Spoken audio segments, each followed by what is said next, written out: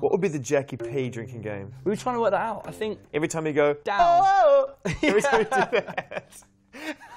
some kind Certainly on the first record. Some yelp. Yeah. Certainly on the first Yeah. record. I'd be smashed by song three. Good to see you, man. Welcome back to the studio, and uh, welcome back to the United Kingdom. Lots happened since the first record as well. You moved out of your parents' parents' place. That's all. Yeah. You're independent I'm now? a big man. Yeah. Yeah? Yeah. I'm a big man. You cooking? Growing cooking a for the beard lady? properly. Cooking for the lady? I am. I'm Yeah? cooking for the lady. I can. I, I can actually cook all right now. What's your specialty dish? um, What's your signature? signature dish? Oh, that's a good one. Uh, butternut squash and Don't put it with the rocket pasta. Don't put it and, with the uh, pasta. feta salad, warm salad with pine nuts. Lunch around Jackie P's, man. Next, I'm telling you, that sounds delicious. It's really good. Are you a vegetarian? No,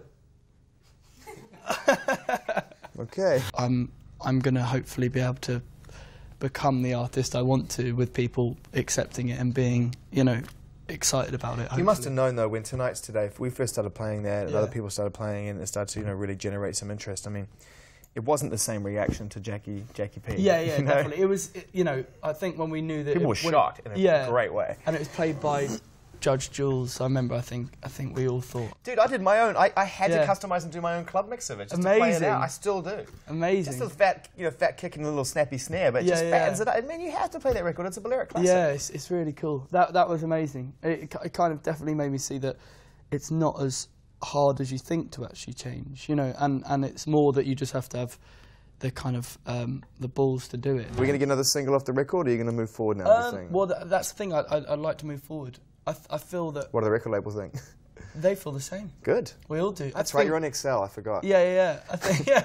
I think, I think the whole idea is is um, not to um, stop now. Yeah.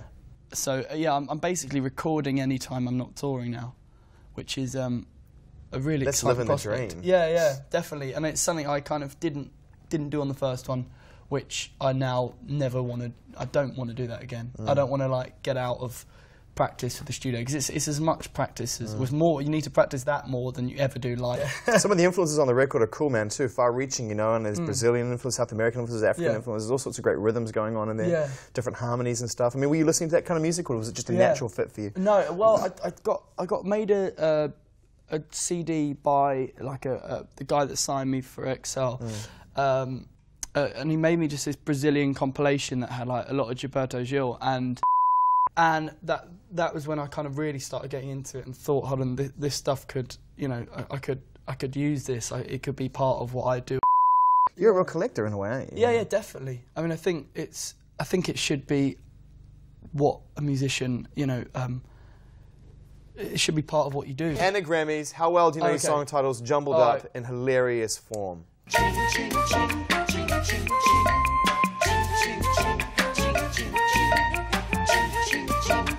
Be the one. Easy.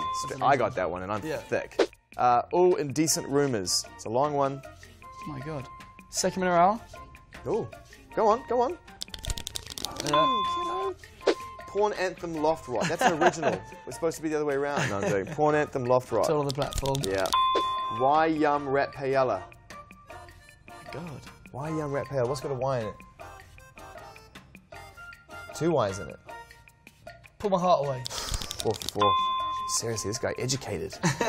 Ass tit strap. Wow. You just want to use that now, don't you? Yeah, that's great. Ass tit strap. Sounds like my brother's name. Um, um, Come on, man, you're doing so well. what the hell is that? Off the first record? Single? Single. What are you Uh, doing? to me? You like this guy, don't you? You've never, pi- Spit at Stars. you've never piped up for anyone on the couch before. Dying Hot Toast. Can you be one of the first artists ever to break six for six? Did Paramore do six for six? Must have done. They're American. Dying Hot Toast. Come on, man. It's got a Y in it and a D. Yeah. Um, First or second record? Don't stop. Oh, oh, now you're gonna act all tough. Come on. tonight's the day. Oh, boom, boom, boom.